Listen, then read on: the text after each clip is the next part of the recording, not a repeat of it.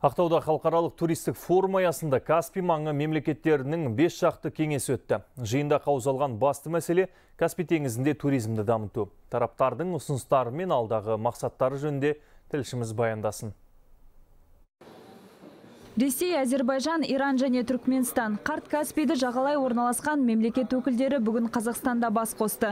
Күн тәртібіндегі басты мәселе Каспий теңізіндегі туризмді дамыту. Халықаралық туризм мәселелерін талқыламас бұрын аймақ әкімінің орынбасары өңірдің бұл бағыттағы өз жоспарымен бөлісті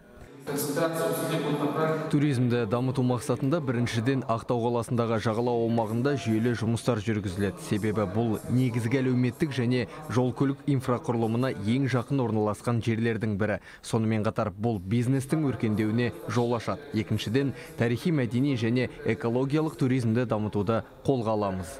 Форум аясында туристік сала бойынша бес шақты кеңес өтті. Онда өткен жылдың тамыз айында Каспий маңы мемлекеттері басшыларының саммитінде қабылданған шешімдердің нәтижелі іске асырылуы сөз болды.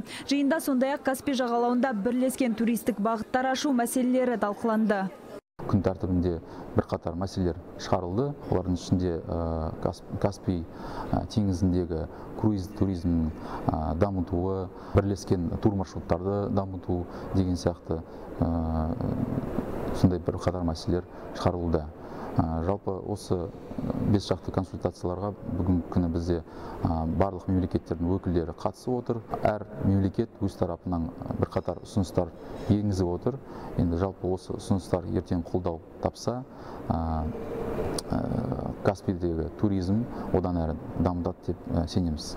Халықаралық туризм форумы саланың дамуына жаңа серпін береді дейді ұйымдастырушылар. Себебі бұл туристік нарық субъектілері мен мемлекет арасындағы өзара тиімді қатынас орнатуға мүмкіндік беретін алаң. Ғазиза Мұхамеджанова, Маңғыстау облысы, Хабар 24.